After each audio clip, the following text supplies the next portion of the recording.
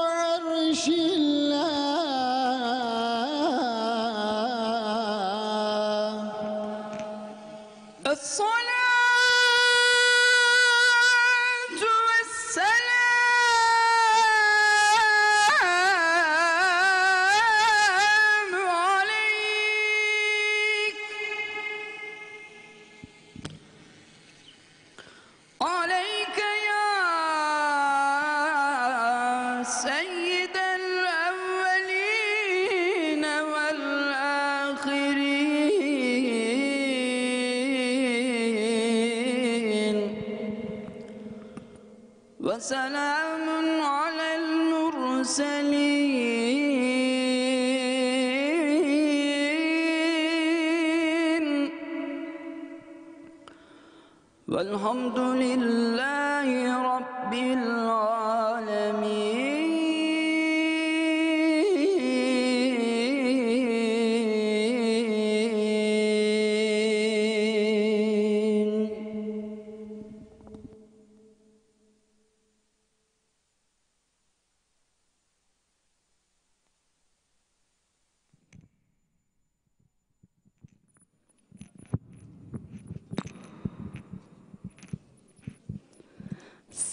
Bakanım, Sayın Valim, protokolün değerli üyeleri, kıymetli köşklüler, basınımızın güzide mensupları.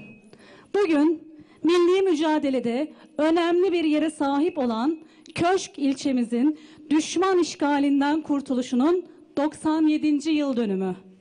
O günlerin anısını yaşatmak üzere Kültür ve Turizm eski bakanımız Sayın Atilla Koç tarafından ilçemize armağan edilen namazgahın hizmete açılış törenine hepiniz hoş geldiniz.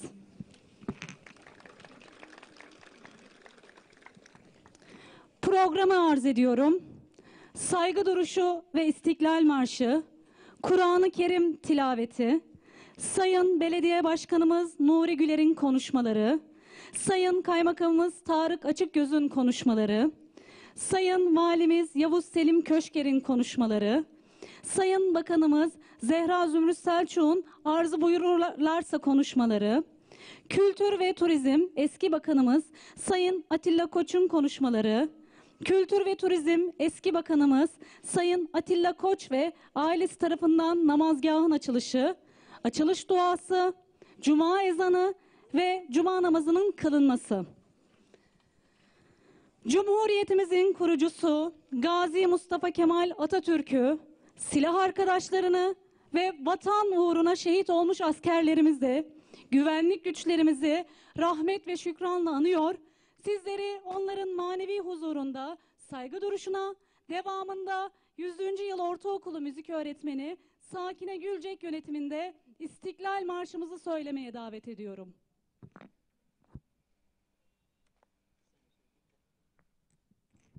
Dikkat!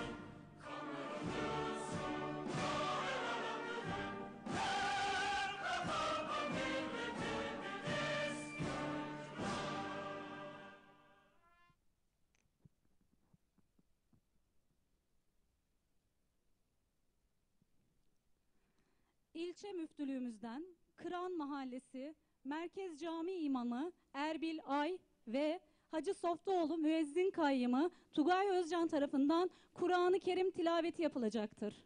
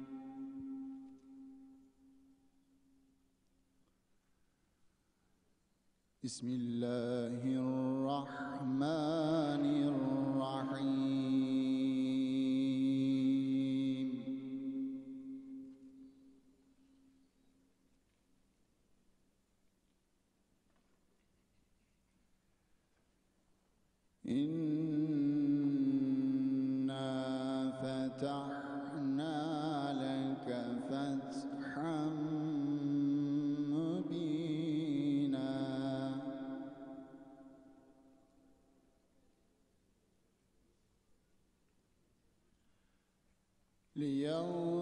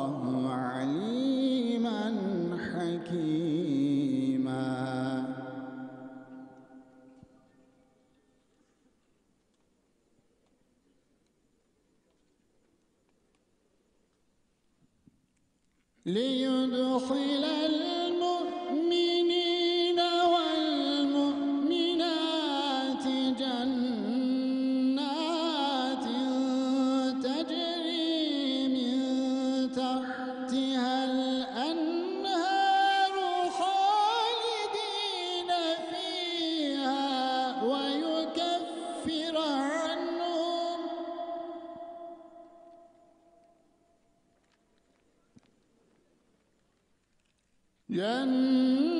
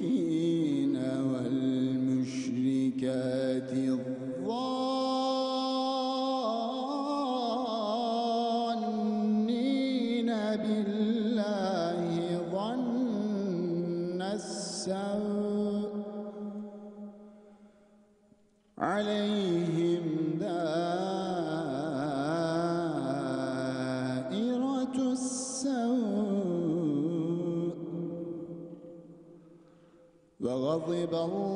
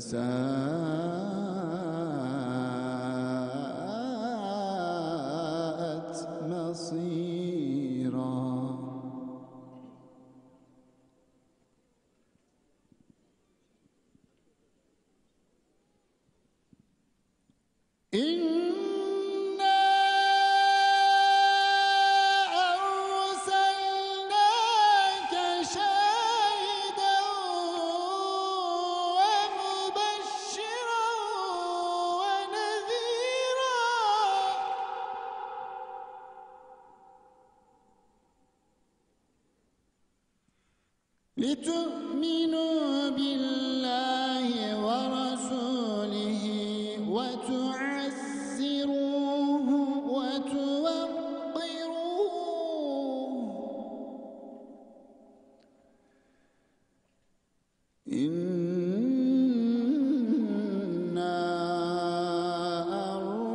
أرسلناك شاهدا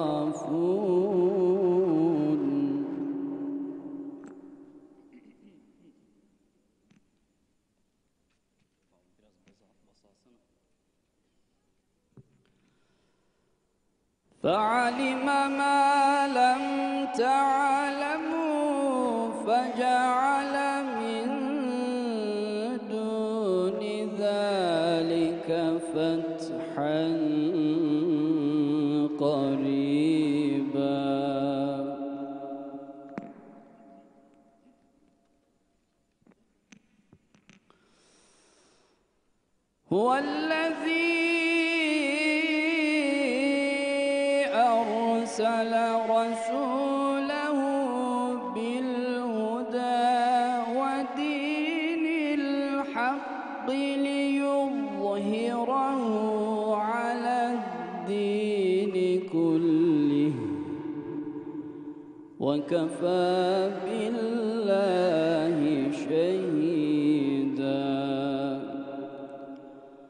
محمد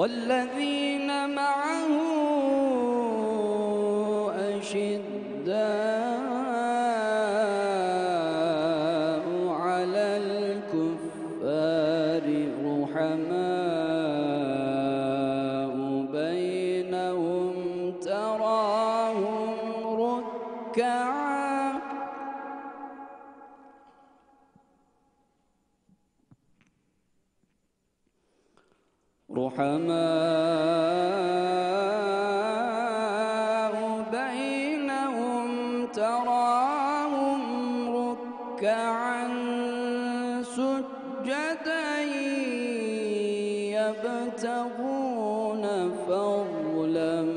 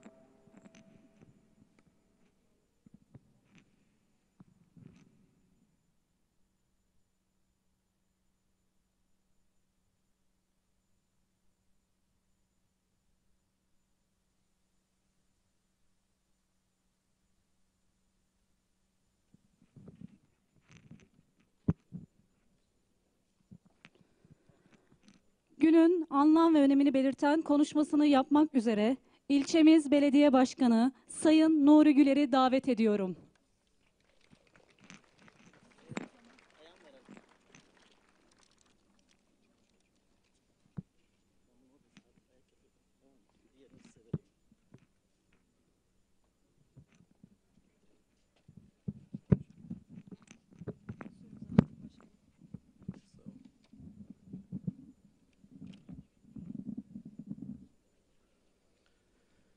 Çok değerli Aile Çalışma ve Sosyal Hizmetler Bakanım, çok kıymetli Milli Savunma Eski Bakanım, çok değerli Kültür Turizm Eski Bakanım, çok değerli Valim,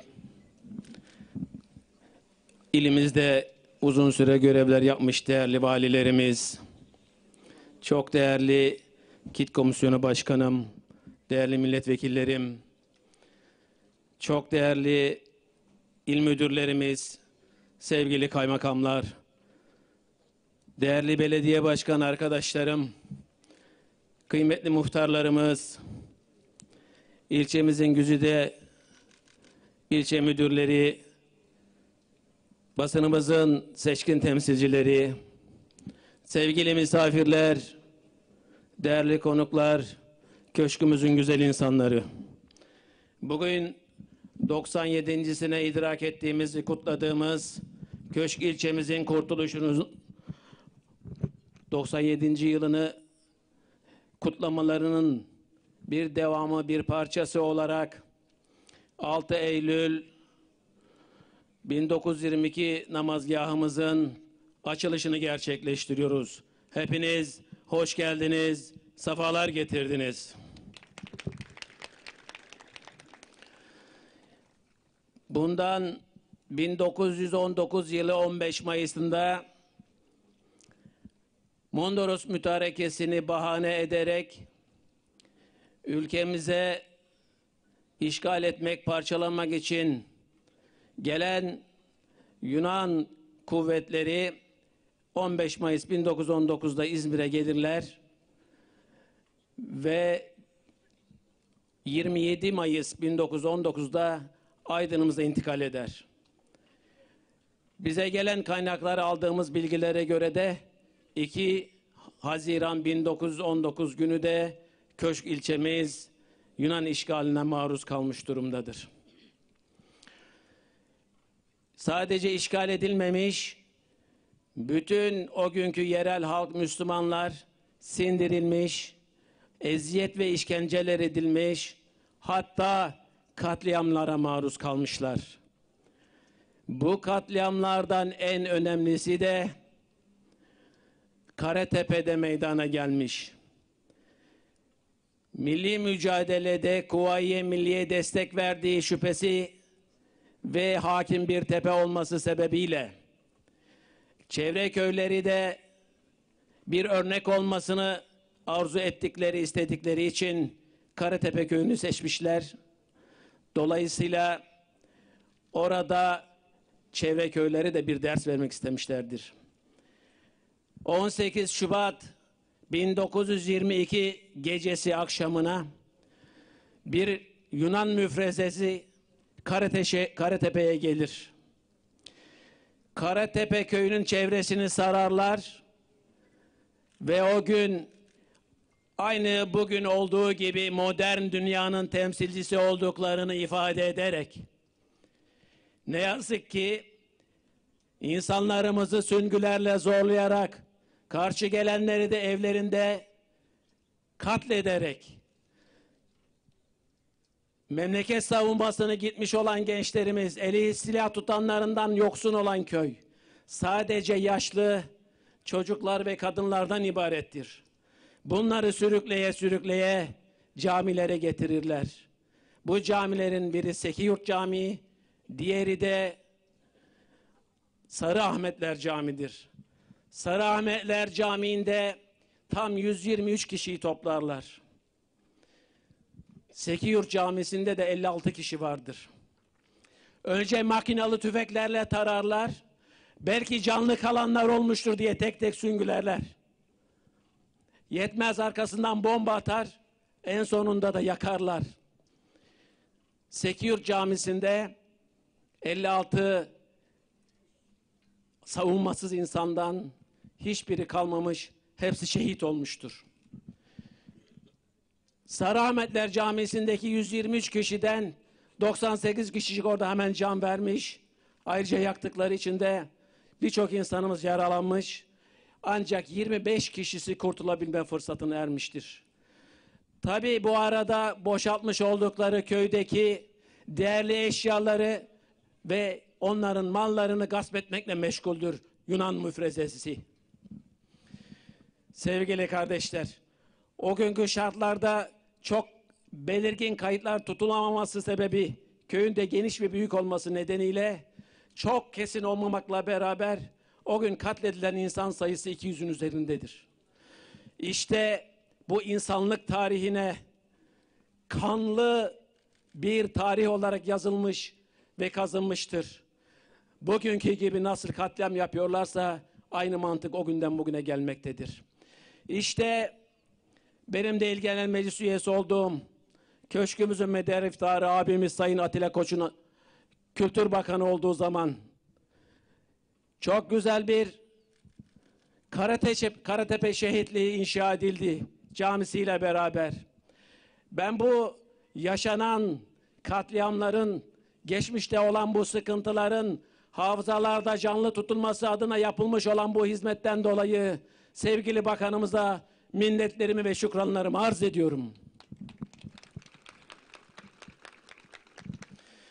Bu arada artık katliam yapmaya alışmış olan Yunan kuvvetleri yine 6 Eylül 1922 sabahı erkenden Ovaköy, Beyköy ve köşk merkezimizde de benzeri zorbalık ve zorluklarla yine küçük bebekleri, çocukları ve gençli çocukları ve ihtiyarları zorla toparlarlar köşk merkezdeki merkez camisine. O gün tesadüfen köşke gelen İsmail Tekeli Efe durumdan haberdar olur. Öyle olunca sızar, bilgiyi alır ve sızarak köşk merkezine girer. Caminin mirase, minaresinde beklemekte olan Rum askerini uzaktan muhafizer tüfeğiyle vurduklarında ve yere düştüğünde oradaki yerli Rumlar ve Yunan kuvvetleri korkar ve dağılmaya başlarlar. Bunun üzerine 10 adet Zeybe ile beraber inen İsmail Tekeli Efe buradaki güçleri dağıtır. Bu düşman kuvvetleri de kaçarken caminin güneyinden ateşe vermişler. İçerideki insanlar bağırış çağırış içinde, hezeyan içindedirler. Hemen gelir ve kapıyı açarlar. Oradaki insanları kurtarırlar ve caminin içerisinde 356 beden vardır. 356 masum can. Onları kurtarırlar ağlayarak zeybeklerin boynunu sarılırlar. Onun için hemen derler ki oradaki zeybekler acele edin. O gün 6 Eylül köşkün kurtuluş günüdür. Artık Yunan ordusu bozguna uğramış gelmekte, kaçmakta onların hışmına uğramamak için acilen dağ köylerine, yükseklere kaçmalarını tavsiye eder ve kurtarırlar. Aramızda Tekeli İsmail Efe'nin de torunları var.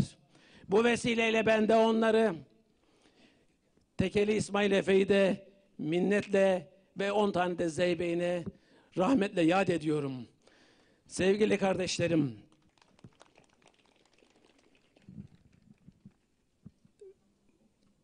bu arada tabii ki ülkenin kurtarılması konusunda canlarını pahasına her şeyini feda ederek bu arada bizim huzur içerisinde bu coğrafyada yaşamamızı sağlayan bütün şehitlerimize, geçmiş geçmiş ölmüş gazilerimize de rahmetle ve minnetle yad ediyorum.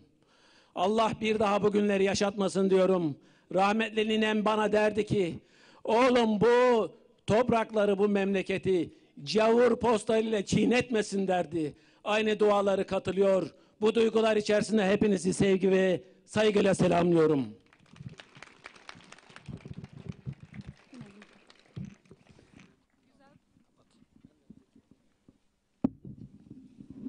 Bu güzel konuşması için belediye başkanımıza teşekkür ediyoruz. Konuşmalarını yapmak üzere ilçemiz kaymakamı Sayın Tarık Açıkgöz'ü davet ediyorum.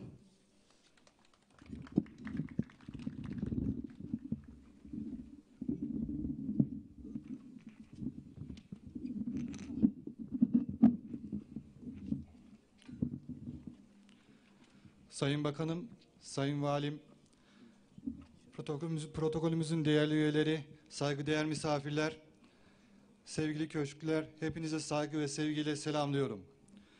Milli ruhun şahlanışı ile milli mücadele meşalesinin yakıldığı, Ege'mizin Efeler Diyarı ilçesi köşkümüzün düşman işgalinden kurtuluşunun 97. yıl dönümünü kutlamanın mutluluğunu ve gururunu yaşıyoruz.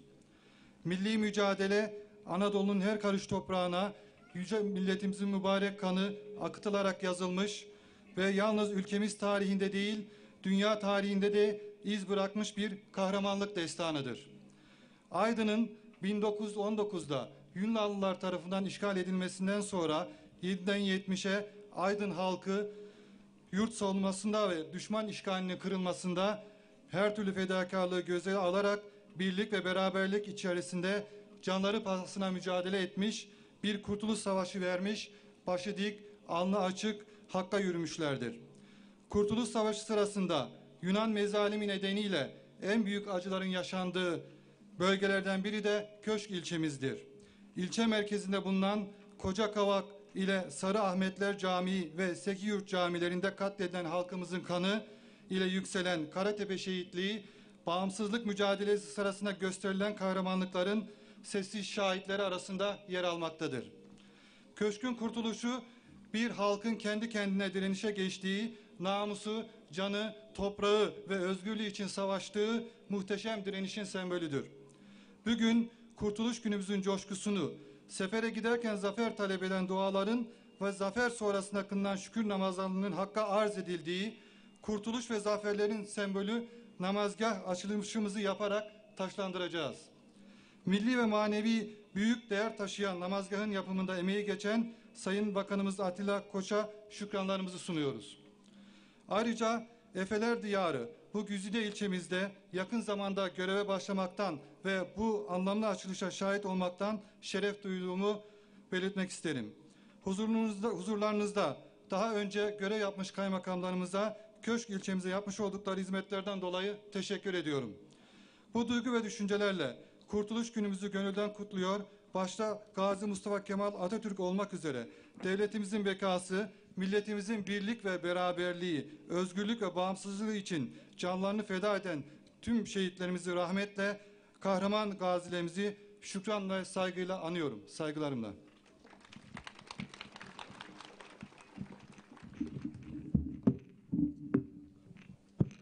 Konuşmalarından dolayı Sayın Kaymakamımıza teşekkür ediyoruz. Konuşmalarını yapmak üzere Sayın Valimiz Yavuz Selim Köşker'e davetimi arz ederim.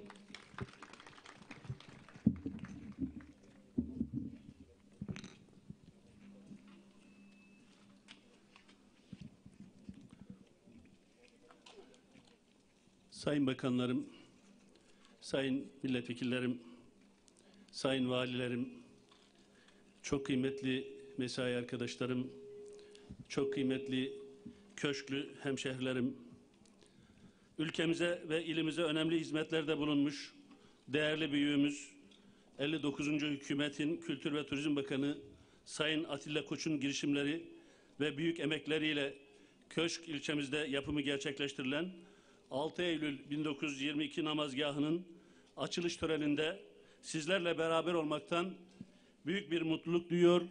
Sizleri en kalbi duygularımla selamlıyorum. Hoş geldiniz. Aydın'ın yetiştirdiği devlet kademelerinde önemli görevlerde, görevlerde bulunmuş, bakanlık yapmış, değerli siyaset adamı Sayın Atilla Koç, ülkemize önemli hizmetlerde bulunmuş, eserler kazandırmış, halkımızın gönlünde silinmeyecek iz bırakmış büyük bir devlet adamıdır. Onun mücadeleci ve çalışkan kişiliğiyle yaptığı hizmetler sayesinde bizler bugün yarınlara daha bir umutla bakıyoruz. Bakanlık yaptığı dönemde ilimizde önemli yatırımlara imza atmış, ilimizin kalkınıp, ilimizin kalkınıp gelişip büyümesi için büyük gayret göstermiştir. Bu gayretlerinden dolayı kendisine şükranlarımızı arz ediyoruz. Bizler de onun açtığı hizmet yolunda azimle, inançla çalışmaya devam edeceğiz.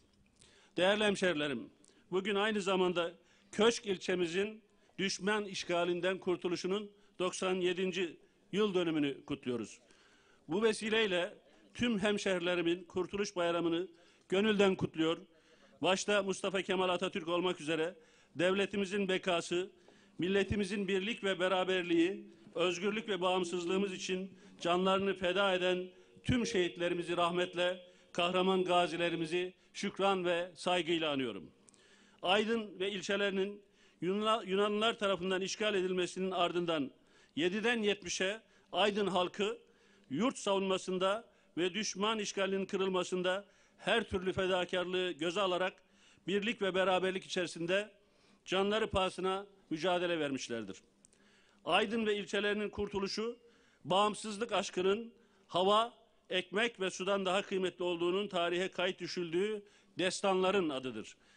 Efelerin ve Efe ruhlu Aydın halkının başı dik, alnı açık, hakka yürüyüşüdür bu kurtuluş. Aydın'ın kurtuluşu toprağı vatan yapan iradenin toprakta filizlenişi, bir milletin yeniden varoluşunun eşsiz bir örneğidir. Bu anlamda 6 ve 7 Eylül gururla ve inançla kutlamamız gereken müstesna günlerdir. Ecdadımızın tarihe yazdığı bu kahramanlık destanını gençlerimizin beyinlerine tarihimizin en büyük derslerinden birisi olarak nakşetmeliyiz. Aydın, Aydın ilimiz ve ilçelerinin düşman işgalinden kurtuluşunun 90, 97. yıl dönümünde bu mücadele ruhunu yeniden her alanda canlandırmalıyız. Yaşadığımız tarihi süreçlerden ders alarak gençliğimize mücadele ruhu aşılamalı ve memleketimizi Mustafa Kemal Atatürk'ün hedef gösterdiği yüksek medeniyet seviyesinin üzerine taşımalıyız. Bu duygu ve düşüncelerle Bakanımız Sayın Atilla Koç'a ülkemize ve ilemize yapmış olduğu hizmetlerden dolayı tekrar şükranlarımızı arz ediyor. Namazgahımızın hayırlı, uğurlu, bereketli olmasını diliyor. Hepinizi saygıyla selamlıyorum. Cumanız mübarek olsun.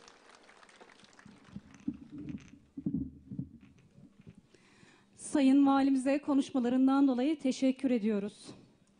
Arz buyururlarsa konuşmalarını yapmak üzere Aile, Çalışma ve Sosyal Hizmetler Bakanımız Sayın Zehra Zümrüt Selçuk'u kürsüyü teşriflerini arz ederim.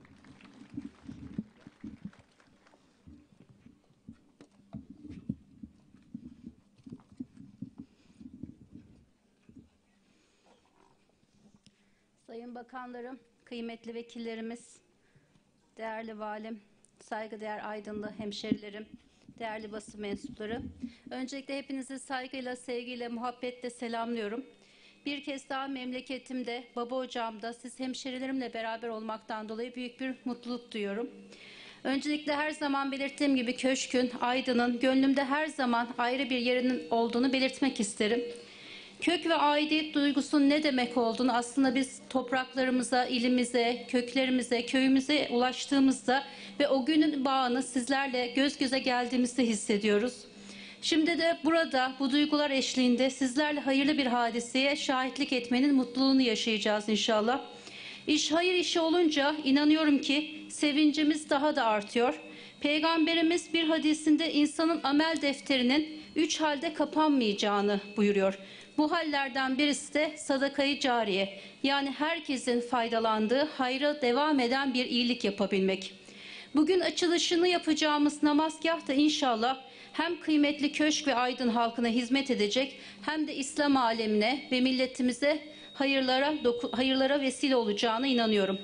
Bildiğiniz gibi namazgahlar sevgili peygamberimizin bana yeryüzü mescit kılındı hadis-i şerifinin en güzel nişanelerinden biri.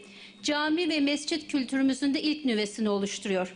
Namazgah mimarisinin asr-ı saadete kadar uzandığı da bilinmekte. Hatta tarihçilerimiz İslam'ın ilk namazgahı olarak Peygamberimizin Medine'deki evini göstermekte.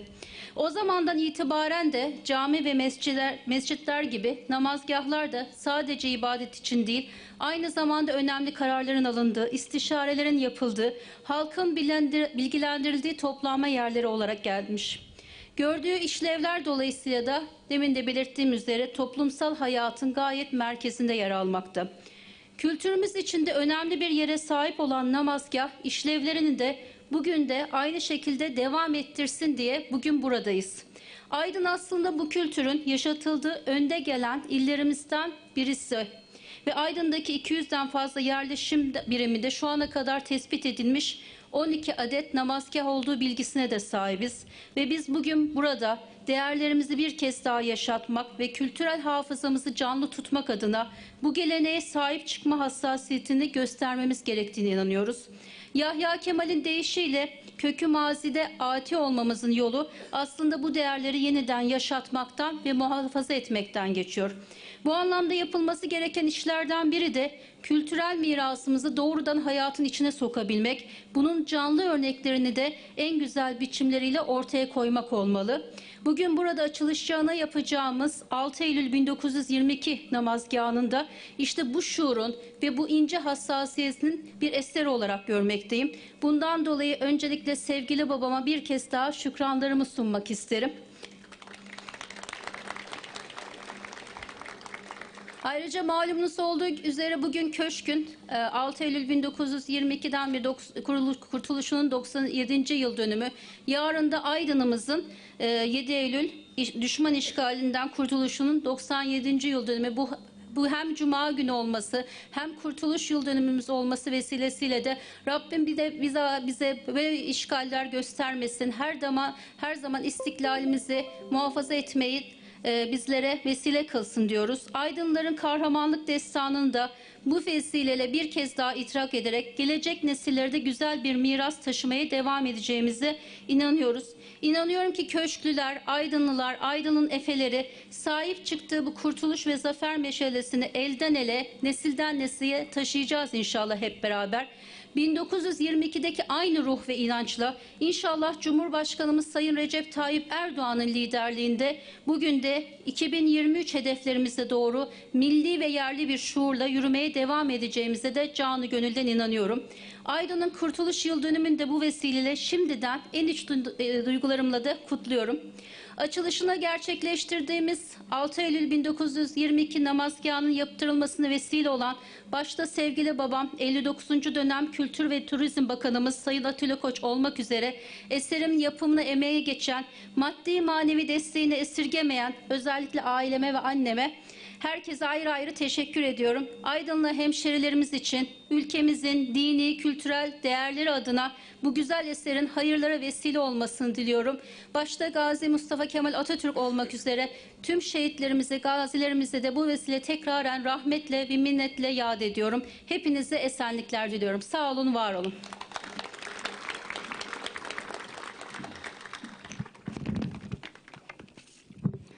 Sayın Bakanımıza konuşmalarından dolayı teşekkür ediyoruz. Arzu buyururlarsa konuşmalarını yapmak üzere ve namazgahımızın açılışını yapmak üzere Turizm ve Kültür ve Turizm eski bakanımız Sayın Atilla Koç'u kürsüye teşriflerini arz ederim.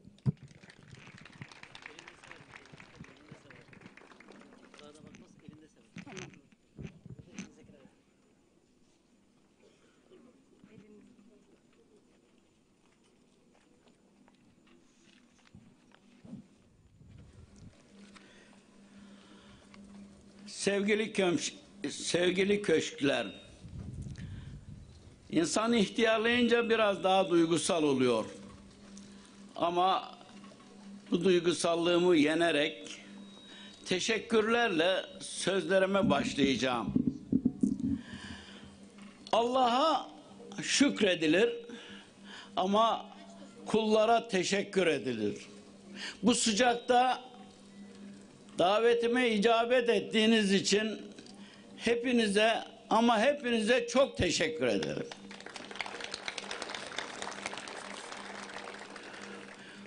Projecilerimizden inşacılarımıza, düzenlemecilerimize, mermercilerimize, camcılarımıza, bakırcılarımıza, çerçevelerimize, elektrik ve elektronik işlerimizi yapanlarımıza, çevre düzenlemecilerimize, çiçek ve ağaçları düzenleyenlere, Kur'an mealini yapan tefsir hocamıza, hattatımıza, Osmanlı alfabesini hitabette değil, kitabette o yazıyı yazan profesörümüze, hepsine ama hepsine çok ama çok teşekkür ediyorum. Biz bu topraklarda bir mayayı geliştirdik. O mayanın iki tane kocaman insanı var. Temelde tereddütlerim olsa da o iki insanın iki güzel sözü var. Birisi diyor ki biz her dem doğarız. Bizden kim usanası? Diğeri de diyor ki dün dündü yancağızım geçti gitti. Artık yeni şeyler söylemek lazım. Biz her dem yeniden doğuyoruz ve yeni şeyler söylemek mecburiyetindeyiz. O zaman niçin namazgah? Namazgah fikrini ailemde açtığımda ilk itiraz eden hanımım oldu. Hanım daha ziyade bir işin fayda noktayı nazarından mütalaa eder. Ama ben bir başka noktayı nazardan mütalaa ettim. Gönülden olmasalar da ailemin fertleri benim görüşümü kabul ettiler. Ama ben namazgahın neden namazgah hı üzerinde durduğumun bazı izahatlarını yapacağım. Kıymetli hemşerilerim, bu gibi toplantılar, gerçi bu sıcak havada biraz zor oluyor ama bu gibi toplantılar aynı zamanda fırsat eğitimidir. Niçin namazgahı izah etmeden önce bir büyük teşekkürü yalnız ülkeme değil, bütün İslam alemine ama özellikle benim aileme büyük iyiliği olan akıldanemiz, reis cumhurumuz Recep Tayyip Erdoğan'a da teşekkürlerimi sunarım.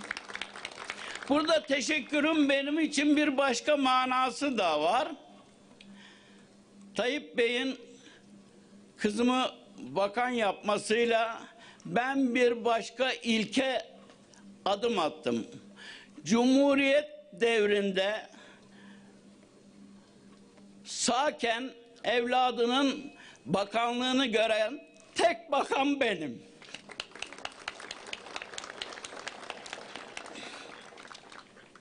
Evet, dönelim namazgaha. Ben köşklüyüm. Ali Koç'tan olma, Zehra Koç'tan doğma. Buralıyım. Köşk Merkez İlkokulu'nda okudum. 23 Nisan ve 29 Ekim kutlamalarını köşkteki parkta yaptık. Cumhuriyet'in anıtında yaptık. 6 Eylül kutlamaları da yaptık. Ama o küçük ruhumla 6 Eylül kutlamaları benim içimi sızlatıyordu. Suçlamak için değil, memleketimin insanların çirkini olmaz da çirkin suratlı, biraz kafası çeken adamları toplarlardı o zaman. Onlara kropan kağıdından Yunan bayrakları yaparlardı. Masanın üstünde eski e, masanın üstünde bir Dimitra Kopula şarabı olur ve de bayatlamış bir köfte. Zito mito bağırırlar. Ondan sonra efelerimiz gelir onları. Bu bana biraz kekremsi geliyor. Oysa kurtuluş daha önemli bir mesele. O yüzden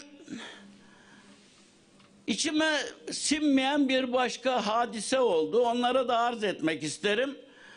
Yugoslavya daha parçalanmadan önce yolum bir Yugoslavya'ya düştü. Orada bir şey dikkatimi çekti. Kıymetli Hazır'ın sizlerin de dikkatini çekmesi için arz ediyorum. Bizim meşhur büyük Kosova zaferimiz ki 5 saatte Sırpları darmadağın etmişiz. Ama Sırplar Kosova Savaşı'nı zafer diye kutluyorlar. Sebep basit. Padişahımızı öldürmeleri.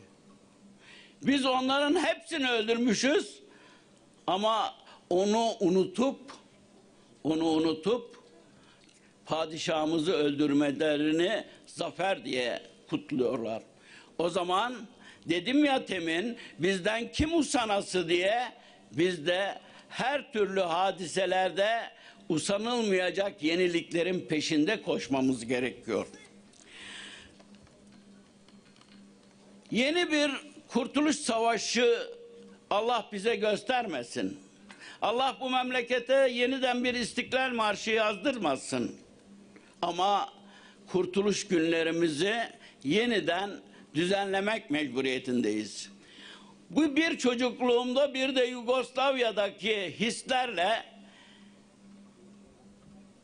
milletvekili olduğum 2002 yılından sonra Aydın'da belki zamanı değil de erkendi dedim ki bu zafer günlerini bir başka şekilde kutlayalım. Mesela ne diyelim? Milli mücadelemizin milli mücadelemizin Aydın Köşk'te zaferle tecelli ettiği gün diye kutlayalım. Başka ne diyelim? Benim için bu çok önemli. 26 Ağustos'da Cumhuriyetimizin bahanesinin emri var.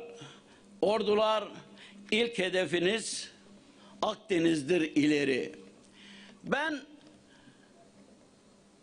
araştırıcı kimliğimle bu Akdenizli lafına, Akdeniz tabirine çok takılmış bir arkadaşınızım.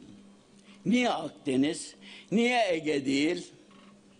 Daha sonra incelemelerim şunu gösterdi ki Türklerde yönler renklere göre ayarlanıyor. Bu ne demek? Türklere göre doğu doğu mavidir. Kuzey karadır.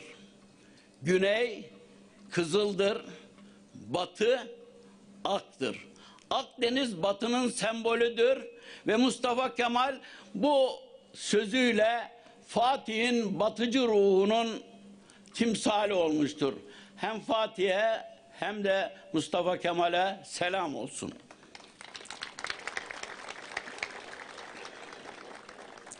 Milli mücadeleyi özellikle son hadiseler çok daha iyi göstermektedir ki milli mücadeleyi ve kuvve-i milliyeyi hiç ama hiç unutmamalıyız. Bu bir ruhtur. Bu ruh bugün bize her gün günden daha fazla lazımdır. Kıymetli arkadaşlarım, kıymetli hazırın, kıymetli büyüklerim, kıymetli büyüklerim derken benden büyük yani yaşça büyük pek az insan kaldı. Ama hepiniz benim büyüğümsünüz. Tekrar ediyorum. Bu büyüklük bugün bu güzel günde beraber olmaktır. Tekrar sizlere teşekkür ederim. Camiye gelince camiye gelince cami, mescit, salat edilen yer yani musalla bunlar hepsi vatandır. Çünkü vatan secde edilen yerdir. Camilerimiz bizim vatanımızın minyatürüdür. Ve şu iki bayrak da gösteriyor ki camilerimizin önündeki bayraklar bizim milli mücadeledeki zaferimizin temadi ettiğini gösterir. Bayrağımıza da vatanımıza da Allah düşman eli değdirmesin amin. Biraz önce bahsedildi. O teşekkürü de yapmak gerekiyor. Tekeli İsmail Efe'nin yaptığı meseleyi yani insanlarımızı köşkleri camiden kurtarıp o günü bize kurtuluş günü armağan eden İsmail Tekeli Efe'ye de selam olsun. Ben onların ki birçoğu benim mahalle arkadaşım. Onların onların torunlarını da davet ettim. Onlar da burada. Onlara da teşekkür ediyorum. Keriman ablanın çocuklarına, Nimet ablanın çocuklarına da selam olsun. Kuvayi Milliye'yi söyledikten sonra İsmail Efe'den bahsettikten sonra bir şey daha dikkatimi çekti. Okumanın ve okurken tatbik etmenin güzellikleri var. Allah razı olsun. Allah bana bu özelliği vermiş. Ondan dolayı da çok seviniyorum. Tarih okumalarımda bir şey çok dikkatimi çekti. Sizlerin de, sizlerin de dikkatlerinize arz ederim efendim. Bu özellikle Osmanlı'nın yıkılış döneminde isyana karıştı, e, kalkışan Hristiyan özellikle e, Hristiyan azınlıkların iki tane şen'i hadisesi var. İki tane şen'i. Çirkin. O hadiselerinden birisi erkekleri camiye doldurmak, öldürmek ama yetmiyor camiyi yakmak. Onun için cami bizim için çok önemlidir. Cami bizim namusumuzdur. İkinci bir husus var, o daha da önemli. Bunlar bizim namusumuzun timsali olarak gördüğümüz kadınlarımızın ırzına tasallut etmek. O sebepten biz kadınımıza ve camilerimize ayrı bir önem atfetmemiz gerekiyor. Ve bunu yaparken bunu yaparken dilimizi, coğrafyamızı ve tarihimizi yeniden gözden geçirerek ama onlara sıkı sıkı bağlı, bağlanarak iki hususu şu Anadolu mayasının iki hususunu tekrar kapartmak mecburiyetindeyiz. Evet, dün dündü cancağızım geçti gitti artık yeni şeyler söylemek lazım. Bir de biz her dem yeniden doğarız bizden kim usanası. Kurtuluş Savaşı sırasında bu toplumda üç türlü lider belirdi. O üç türlü lideri bizim Anadolu insanı daha doğrusu Aydın insanı şöyle tarif eder. Başıbozuklar, çalık akıcılar ve efeler. Bunların üçü de liderdir. Ama biz çalık akıcıyı da başıbozuğu da sevmiyoruz. Biz hep efelerden yanayız, efelerden yana olmaya devam edeceğiz.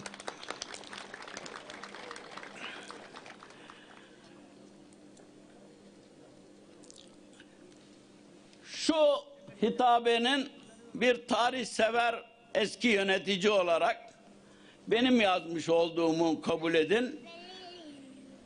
Torun hoş geldin. Seninle açacağız inşallah. Bu soldaki hitabeyi de ilahiyatçı hanımım yazmış olsun. Burada gramer ve ifade hususunda hata yapmamak için elimizden gelen gayreti sarf ettik. Evet zaten ezana tam getirdik, güzel gidiyor. Bu hata yapmamak için herkese danıştık. Bu burada bir hususu daha belirtmek isterim. Bu bu namazgahın bütün masrafları bu namazgahın bütün masrafları Şadiye Atilla Koç ortak hesabından karşılanmıştır. Ve ve yapılan hizmetlerin hiçbirinde herhangi bir iyilik için bile olsun yardım kabul edilmemiştir. Çünkü biz bir şeyi biliyoruz. Hayır sahipleri hayırlarını yaparken başkalarına angarya yüklememeli. Onun için burada ne yapılmışsa biraz sonra ikramımız dahil ne yapılmışsa herkesin ücreti peşinen ödenmiştir. Ama buna rağmen bizden ücret alan insanların yaptığı iyilikler ve yaptığı lütufları da hiçbir zaman unutmuyoruz. Hatta birkaç arkadaşımızın söylediği fiyattan sonra gördük ki o fiyatlar ucuz. Ek ödemelerimizi de yaptık. Niye yaptık? Bir hayır işlerken kimsenin hakkı ne benim ne hanımım üzerinde kalmasın diye herkese ödemesini yaptık. Dedim ya hayır sahibi hayrını yaparken angarya yüklememeli. Hatta ve hatta giden belediye reisimiz, gelen belediye reisimiz de çok iyilikleri oldu. Ama inanın her iki belediye zamanında yapılan hizmetlerimizin karşılığı belediye maliyesine parasını ödeyerek makbuzunu kestirdik. Bunları niçin söylüyorum? Tekraren söyleyeyim. Biz hayır yaparken angarya yüklemeyiz. Çünkü biz Anadolu insanı olarak, Türk olarak, Müslüman olarak biliriz ki mürüvvetin endazesi yoktur. Ve ahlak ağızlarda çiğnenen sakız değil, vicdanın çelik koludur. Gelelim namazgaha. İbadetimizi, ezanımızı elbet Kur'an'ın nazil olduğu dille eda edeceğiz. Ama burada önemli olan husus Kur'an'ın ne de demek istediğini ne demek istediğini iyice bilmek mecburiyetindeyiz. Camilerimizin minberlerinin üzerinde yazılır. Hefeylün diye nestaizu billah başlayan ayet. O ayetin bir kısmıdır zaten. O ayet yazılır. Herkes bakar ama onun ne manaya geldiğini bilmez. Sure-i Bakara'nın 140 144. ayeti iki kısımdır. İşte birinci kısımda hitap. Peygambere müjde verir. Artık namaza kalktığın zaman yüzünü Mescid-i Haram'a çevirirsiniz der. Hemen o surenin arkasında, hemen arkasında değil ardında ki tefsir ilminde buna necim deniyor. Arkasında bir hitap daha vardır. Birinci hitap peygambere, ikinci hitap bize. Ey müminler namaz kılmaya kalktığınız zaman Mescid-i Haram'a vücudunuzu, yönünüzü dönün. Demek ki iki kısımla bize mescidim haramı müjdeliyor. Çünkü bu peygamberimizin bir dileğiydi. Kıymetli hemşerim, bu ayetin altında yanında bir başka ayeti de buraya koydum. İnşallah biraz sonra açılışı yapacağız. Daha sonra da Müftü Efendimiz, Aydın Müftümüz açılış duasını yapacak. Sonra cuma namazımızı kılacağız. Sonra da ikramımızı yapacağız. Hep beraber mutlulukla ayrılacağız. Onun yanında bir ayeti daha koydum. O ayet de Yusuf suresinin 11. ayeti. Allah istediğinde galiptir diyor. Allah istediğinde galiptir dedikten sonra ama insanların çoğu bunu bilmez diyor. Ve oradan Endülüs Müslümanlığı bu ayetten çıkarak bir alamet ortaya koymuş. Nasıl Osmanlı Müslümanlığı şöyle bir alamet koyuyor. Gururlanma padişahım senden büyük Allah var diyor. Osmanlı Müslümanı da şey pardon Endülüs Müslümanı da bu ayetten çıkarak şunu söylüyor. Ve ve, ve la galibe illallah diyor. Allah'tan başka galip yoktur. Evet. Bütün Müslümanlar umutsuz olmayın.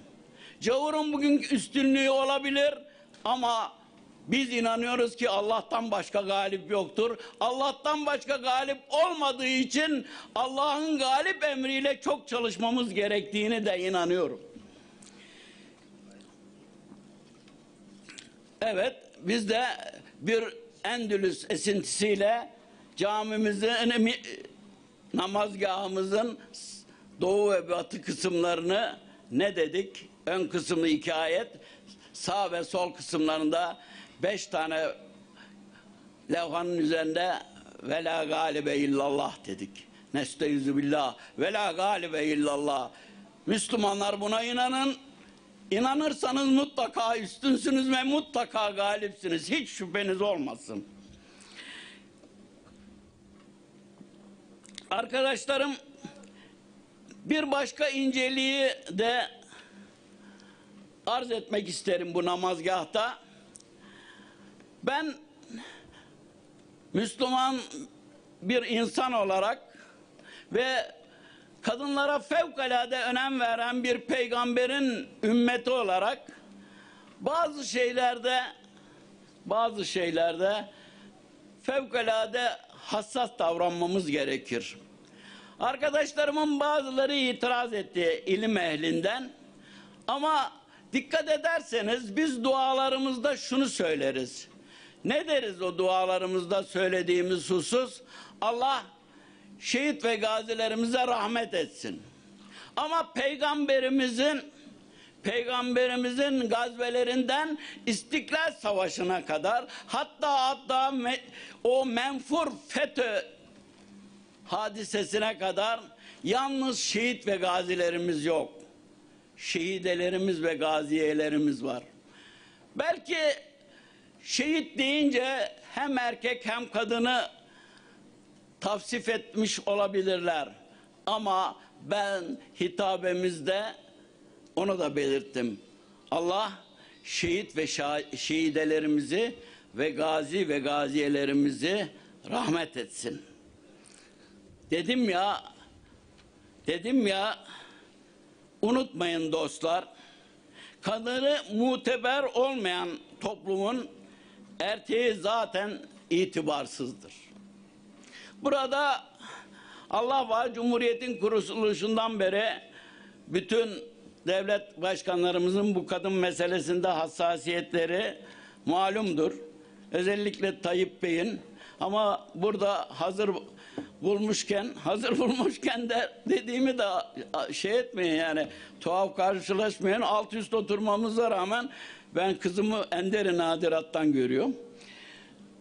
Bu sefer bu kadın meselesi ve kadının hakları meselesinde kadının hakları meselesinde kızım e, Zehra Zümrüt Selçuk'a İçişleri Bakanımıza, Adalet Bakanımıza, Milli Eğitim Bakanımıza ama en önemlisi en önemlisi Diyanet İşleri Başkanımız başkanlığımıza ve müftülerimize çok iş düşüyor.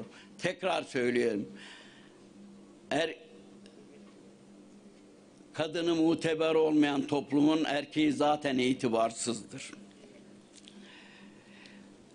Bir hususu daha, bir inceliği daha belirteyim. Minare asr-ı saadette yoktu. Ama güzel bir, fonksiyonel bir cami tamamlayıcısıdır. O yüzden bunu allamelerimiz bidat-ı hasane de, hasene demiştir. Yani güzel bidat.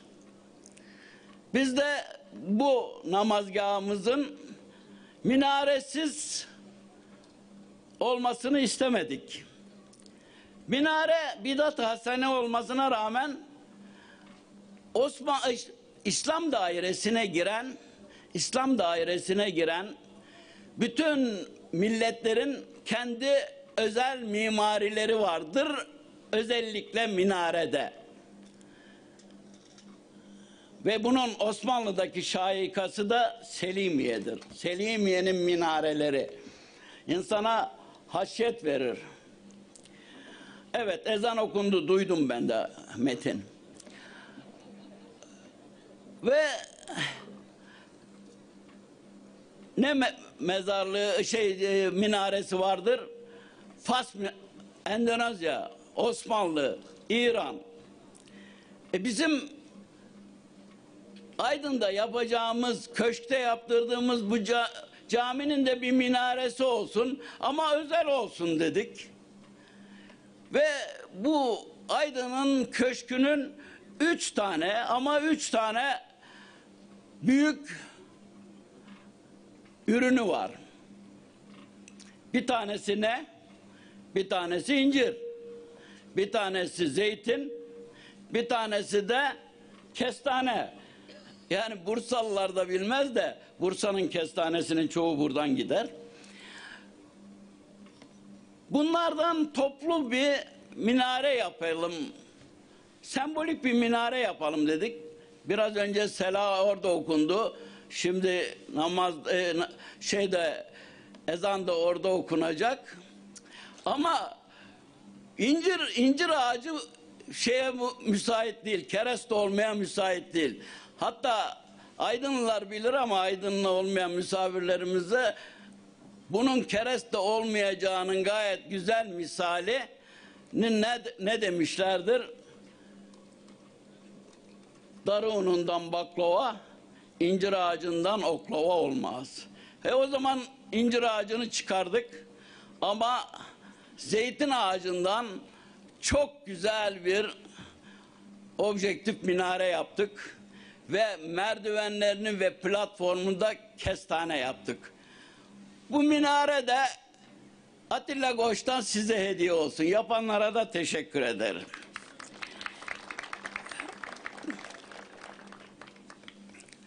Bu namazgahı sevgili hemşerilerim, sevgili misafirler ölünceye kadar ben ve hanımım bakacak. Daha sonra çocuklarım bakar, damatlarım, gelinim bakar. Ben onların hayırlı halef olduğuna inanıyorum.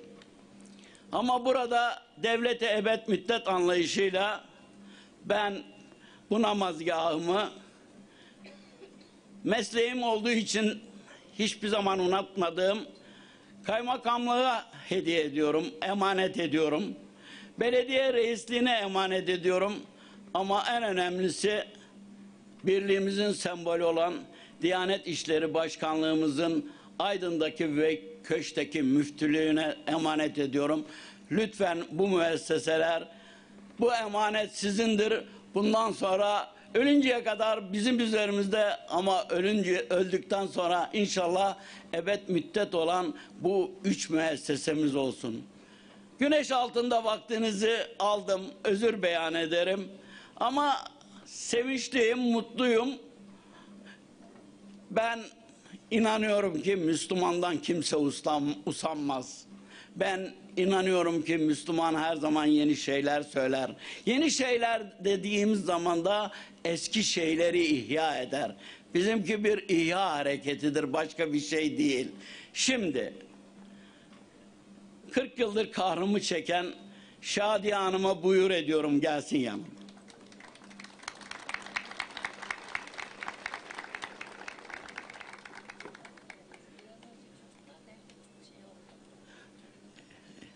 Gelirken dedikodu etmedi. Ben de biliyorum yani çok şey oldu. Evet. Daha sonra kızım Zehra Zümrüt Selçuk'u davet ediyorum.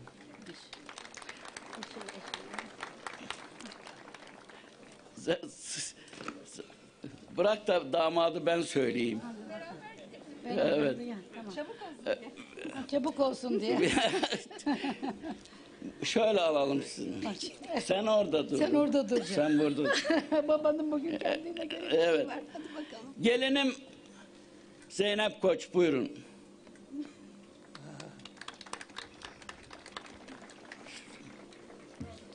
Hadi. Oğlum Ali Taha Koç buyurun. Biz yanlış böyle şey yapmış. Kızım İffet Sırma Akpınar buyurun. Damadım Ömer Akpınar. Torunum Ali Hamza'yı da getirebilirsiniz. Buraya buraya. Yok sen oraya öbürleri oraya. Ha, tamam. Hoş geldin sen erkekler sınıfın. Allah hepinizden razı olsun. Hadi bakalım açalım. Buyurun. Hadi açacağız şimdi. Hadi bakalım.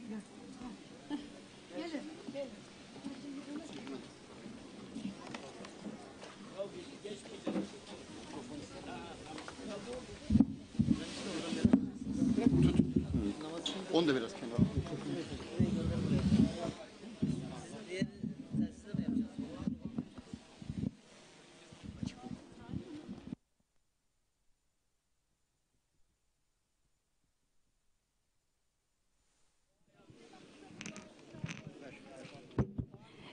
İl Müftümüz Ercan Aksu tarafından açılış duası yapılacaktır.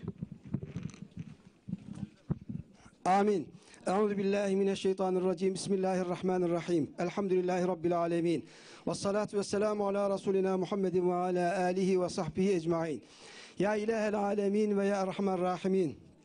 Ya Rabbi şu mübarek cuma gününde şu mübarek namazgahın açılışı vesilesiyle bizleri buluşturduğun için sana hamd ediyoruz, şükrediyoruz, sena ediyoruz. Hamdimizi, şükrümüzü, senamızı kabul eyle ya Rabbi. Ya Rabbi şu mübarek cuma gününde dualarımızı makbul eyle ya Rabbi. Ya Rabbi biraz sonra namazımızı eda edeceğimiz namazgahımızı ve bütün mabetlerimizi Beytullah'ın ruhundan, Mescid-i Nebevi'nin ruhundan mahrum eyleme ya Rabbi. Ya Rabbi açılışını yapacağımız bu namazgahın hayırlı olmasını nasip eyle. Bu namazgahın yapılmasına vesile olan Sayın Bakanımıza, ailesine dareyn saadeti, iki cihan saadeti ihsan eyle. Kendilerine hayırlı, bereketli, uzun ömürler ihsan eyle. Ve selamun alel murselin velhamdülillahi rabbil alemin. El Fatiha.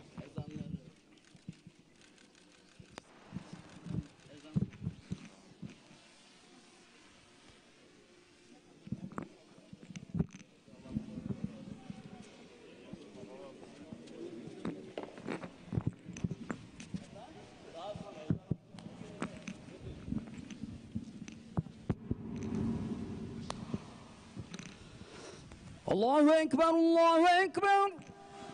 الله أكبر الله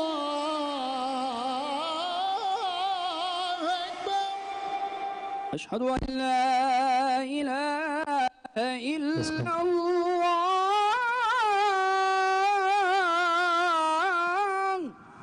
أشهد أن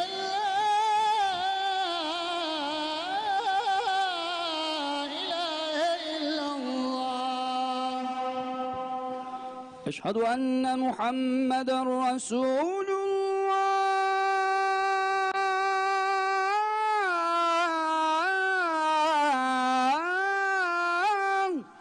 أشهد أن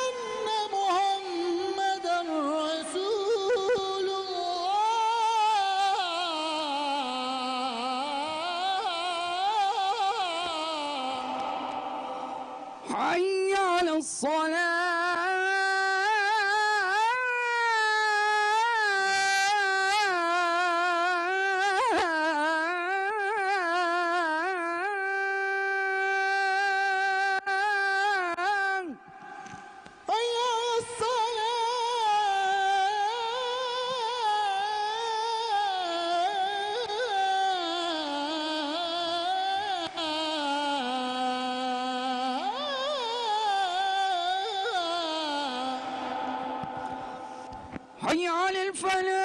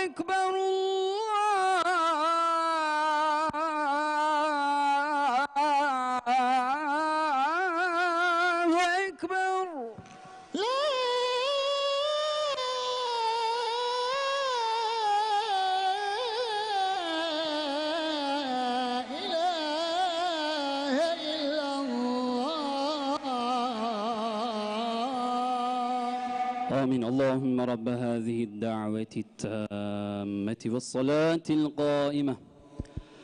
آت محمد الوسيلة والفضيلة وابعثه مقاما محمودا الذي وعدته. إنك لا تخلف الميعاد والحمد لله رب العالمين. صلاة سنة اللهم صل على سيدنا محمد وعلى آل محمد. O senin hatan.